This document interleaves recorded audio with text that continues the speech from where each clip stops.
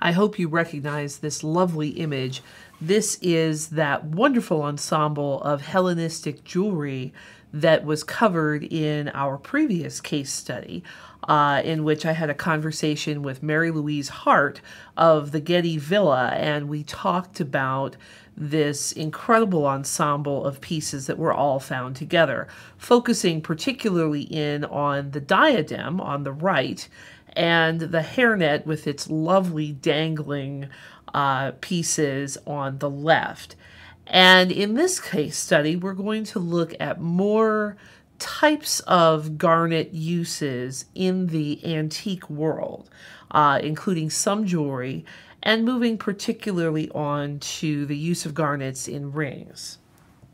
First, I want to make the point that the material we saw from the Getty Villa is uh, special but not completely unique. And what you're seeing here is another such ensemble. This one is in Berlin um, in the uh, Altes Museum, which houses much of the classical art collection.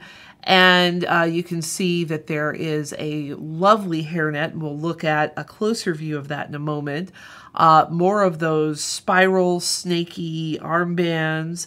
Um, a really pretty, possibly fringed diadem or choker that you see in gold uh, some wonderful earrings, and then this fabulous uh, garnet necklace with a Heracles knot that I'm showing you in some details on the left. And that's what's surrounding most of this ensemble. Um, and this is uh, discoveries like this are rare, relatively rare, um, and so it is very special to see them. But you might remember that um, we were talking about the Heracles knot both with Mary Louise uh, at the Getty and also with Adam Levine um, at Toledo. And uh, it came up that the, the knot is something that's very difficult uh, if not impossible, to break because of its structure, and that it can be a sign of love and commitment. Uh, so this would be a very appropriate sort of thing for a man, a wealthy man, to give his wife, for example. Here is a closer view of the hairnet from that ensemble in Berlin, and you can see the central figure is uh, the god Hermes or uh, Roman Mercury, and you can recognize him from the wings uh, in that appear to be coming from his hair. You might recall that he has a winged helmet, and you see those two little loops right by his neck. So that's an indication that this hairnet too would have had little dangling uh, fringes, probably made of gold and garnets. What I think is so fantastic about this particular hairnet uh, and makes it really distinctive is the fact that all of these areas where uh, the the gold wires cross each other, these have been turned into settings for tiny round polished garnets. And I have a detail of that on the right. Um, it really is marvelous. You'll notice that quite a few of these are missing, but still, the effect must have been particularly stunning, especially uh, against a contrast of human hair. Imagine if, uh, for example, the wearer had dark hair, how this would have just glowed against that. Although the great jewelry ensembles are relatively rare, Rings are quite commonly found with garnets uh, through multiple periods of history.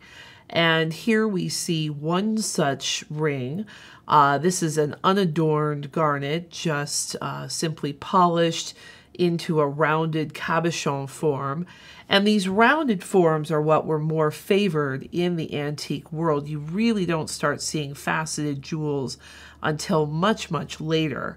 Um, but as we'll see, simple rounded cabochons were uh, not quite as common as signet rings, rings with some sort of engraving on them and a sign that uh, would be special to the wearer. And we'll see a few of those next. Here we're looking at two engraved uh, rings Um, and it's possible that these could have been used as signet rings, used to press into wax to make a, a seal, for example. Um, the one on the left with the 56 in the photo shows uh, the figure of Marsyas, who was a satyr, uh, a half human creature who uh, had the audacity in in uh, Greek mythology to have a contest with the god Apollo playing the lyre. And he lost, and his punishment was to be bound up, and you see him bound with his arms behind him to what looks like a tree trunk on the right side of that gem. And uh, he was flayed alive. Um, on the right side, you see uh, a musician holding a harp or a lyre um, and wearing a, uh, a peplos, a, a type of Greek garment. And both of these, again, are garnets. Here's a particularly spectacular ring. Um, this one is spectacular for a couple of reasons. First of all, I'd like you to take a look at that garnet, and you can imagine that this would have come from a, a very fairly large stone, and the jeweler here has cut it in such a way that it really shows that um, sort of anthrax glowing coal quality of the garnet that was celebrated by Theophrastus and by Pliny. Uh, you can it seems to glow from within, and I, I really like the close up I have on the right for that. Um, this is a signet ring, so it was uh, carved in such a way so that, like a cylinder seal, when you uh, pressed it into something soft, most likely melted wax in this case, it would leave a relief impression. And so you can see that the inscription is backwards and also that uh, the figure has been carved into the stone so that it will project in relief when it's pressed into wax. Like coins, signet rings and uh, regular signets were a means of spreading a particular propaganda image for individuals in authority. They could because uh, the impressions of seals were po- were uh, portable, just like coins were in constant circulation. So if you wanted to have a particular image spread over a wide territory, what better way than through things like coins and through seals, signet rings?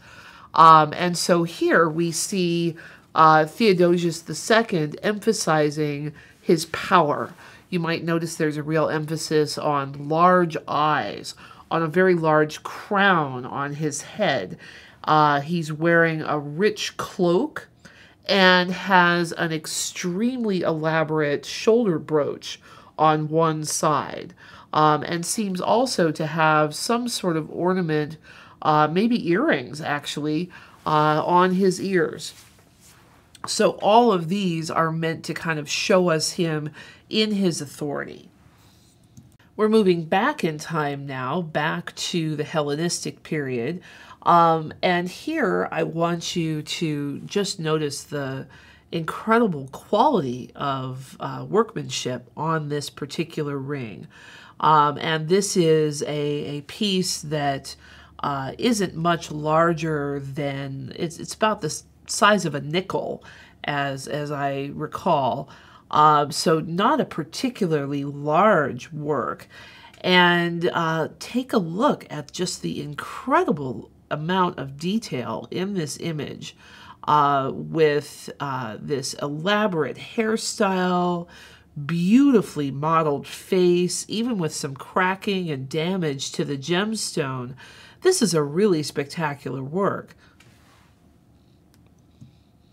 One of the last things I'm going to show you here is a tiny little portrait head uh, made from garnet. And this depicts one of the Ptolemaic Egyptian queens, um, either Arsinoe or Berenike, and there were, I think two Arsinoes and two Berenikes. Um, and it's it's kind of difficult to tell them apart because they tend to share in the same sort of uh, means of being depicted. Usually they are a veiled figure. Um, and there are a couple of other characteristics, but you can see we have this lovely uh, veiled figure, and the uh, the gem here has been modeled in such a way so that it appears that this uh, this figure has a really nice tight bun of hair underneath kind of a, a gauzy silky veil.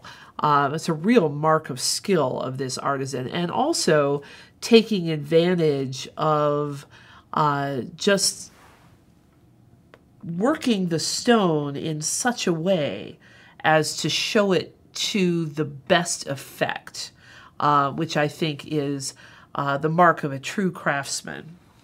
Here are a couple of other views of that uh, figure.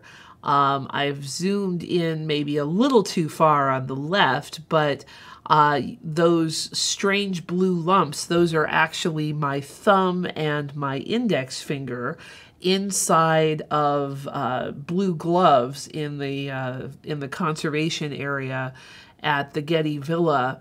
And uh, I want you to particularly focus in on the image on the right. You can see that uh, this is not a piece that's been carved completely in, in the round. It's kind of a, a random uh, chip of, of garnet that has then been shaped into this wonderful portrait bust. And so, what would have been the purpose of something like this? Well, perhaps this would be the kind of thing that the queen herself would have commissioned to give to someone in her favor. Um, or possibly this was meant to be put into some sort of larger object, uh, perhaps a piece of jewelry uh, or some other sort of ensemble. But it is definitely a luxury item meant to be appreciated for its beauty and for its craftsmanship and for the quality of the, the gemstone itself, that wonderful red glow. Here's our last piece, and this is uh, a Roman head. Um, and you can see, again, I've zoomed way in to show you just how tiny this is. Um, but this is uh, a female head uh, with kind of a, a, complicated hairstyle, sort of a, a top uh, that has been divided up into three segments, and then there's uh, a bit of hairstyle in the back. And uh, this might have been, uh, you know, commissioned as a little portrait head for uh, for someone to give as a gift. Um, it was certainly meant to be picked up and admired.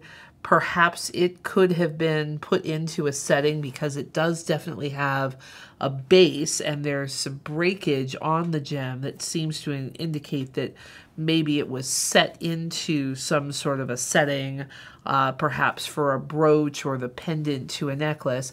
Again, we just don't know, um, but it's a, a compelling little thing. Here are two other views, um, again zoomed in close enough that you can see the texture on the blue gloves I was wearing at the, the Getty Villa. Um, but you can see the, the level of modeling on this piece. And then on the right, you can see how that hairstyle kind of works out with its various pieces. Um, and then just below the hairstyle, there's sort of a groove there where uh, presumably a metal fitting would have been placed around this gem uh, so that it could be worn or displayed in some other fashion. And remember, when we're talking about the, the Roman world, uh, we're talking about a world in which um, images tend to have a, pretty decent amount of significance. Um, we don't have, you know, ch cheap and quick images the way we do now in the age of digital photography. So, um, you know, perhaps this was something that uh, a husband uh, wore as a, a symbol of his wife or something else. We just don't know. Um, but these are just a few examples of the, the sheer wealth of, of small scale works of art that we have in garnet from the ancient world.